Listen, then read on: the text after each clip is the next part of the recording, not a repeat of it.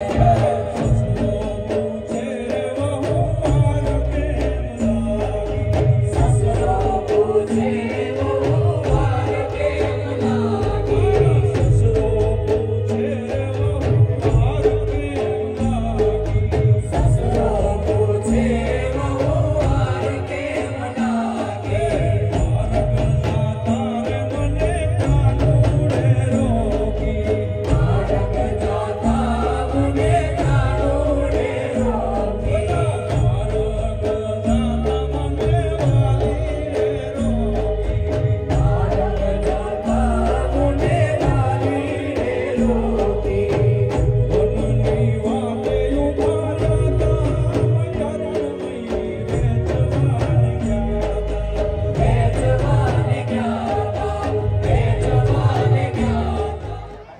નમસ્કાર, દિનેશ સિંધાવ, વિશેષ વિથ દિનેશમાં તમારું સ્વાગત છે. આજનો દિવસ મારા માટે વિશેષ છે, એટલા માટે કે કૃષ્ણની ભૂમિ દ્વારકામાં છું.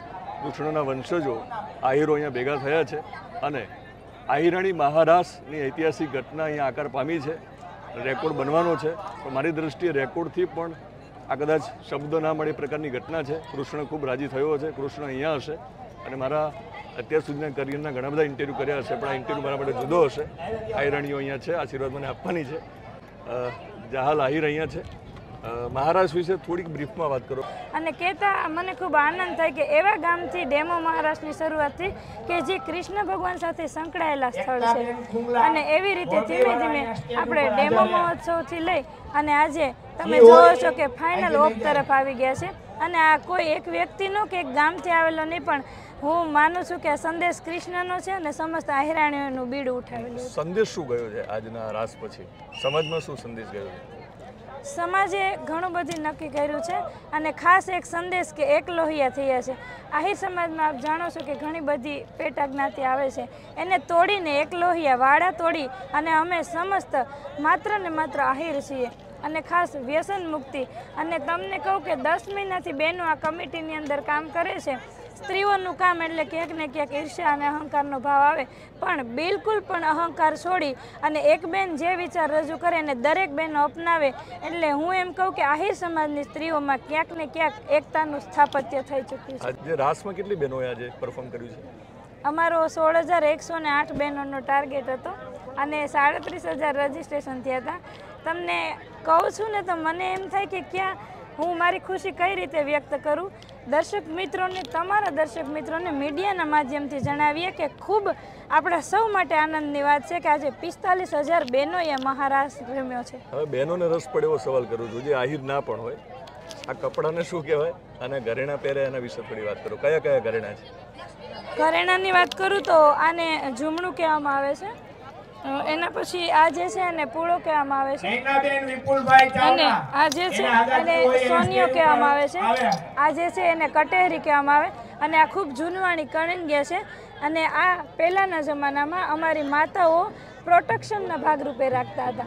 અને આ નથડી જૂનવાણી છે અને આજે દરેકે દરેક બહેનો આ બધી વસ્તુઓને હોશે હોશે અપનાવતા થઈ ગઈ આ ઠોળિયા છે. અને આ ઉપરની છે અને પાંદડી કહેવામાં આવે છે. બરાબર. આ રીતે એક બતાવી ઓકે હવે બીજી મજા આવ્યો સવાલ બધી બહેનોને ગમશે. એક બહેનોએ ઓછામાં ઓછું કેટલા તોલા થોડો કિલો ઘરેણા પહેર્યા છે આહિર સમાજની નારીઓ હોય અને તમે જાણો છો કે આહિરના તો ઇતિહાસ વખણાય છે. અમે ઘણા બધા અમારા તો વિશ્વ અમારી નોંધ લે છે. અને આહિર સમાજ એક રજવાડો પરિવાર ગણાય.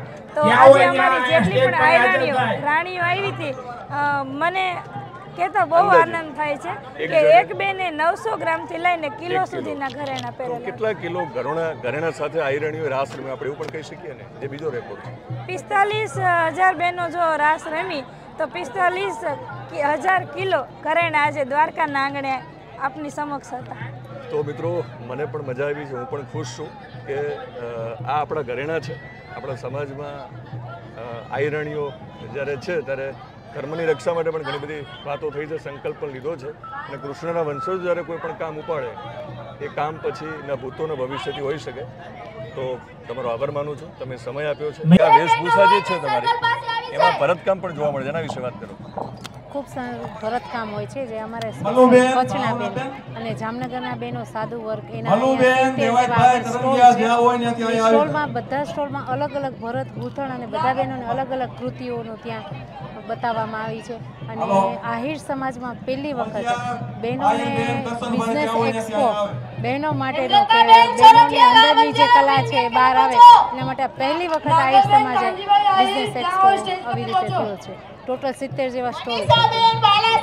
છે હું રિક્વેસ્ટ કરું છું કે તમે આહિર ભરતનું જે કામ છે એને આવકારો અને તમે ખરીદી પણ કરી શકો. અને આપણે ઘરેણાની વાત કરી એમ પહેરવેશ પણ આજે અગત્યનો છે. આજના રાસમાં તો તમારા પહેરવેશ. અમારો આજે બધાએ જે પહેર્યો હતો એ આહિરાણીઓના પહેરવેશ અમારો ગુજરાત આખામાંથી અલગ અલગ જિલ્લામાંથી આવ્યા છે. જેમ કે આજે અમે બધા એક લોહિયા એવી રીતે અલગ અલગ જિલ્લાઓનો પહેરવેશમાં થોડું અલગ અલગ ડિફરન્સ હોય છે. પણ આમ બધાનો મળતો પહેરવેશ જિલ્લા વાઇઝ થોડો થોડો સ્વાગત હોય છે, કંડોરિયા કાપડું હોય છે ચૂડી હોય છે પછી વેટલા ઝુમણા કાટલી ઠોરિયા એવું થોડું જિલ્લા જિલ્લા વાઇઝ થોડું અલગ હોય છે બાકી સેમ હોય છે. પણ હવે તો બધા એક લોહિયા આજે બનીએ છે એટલે હવે તો બધું સેમ છે. જો હવે એવું નથી. હવે બધા બધાનો પહેરે છે અમે એ લોકો બીજાનો પહેરે છે એ લોકો અમારો પહેરે છે એવું થઈ ગયું.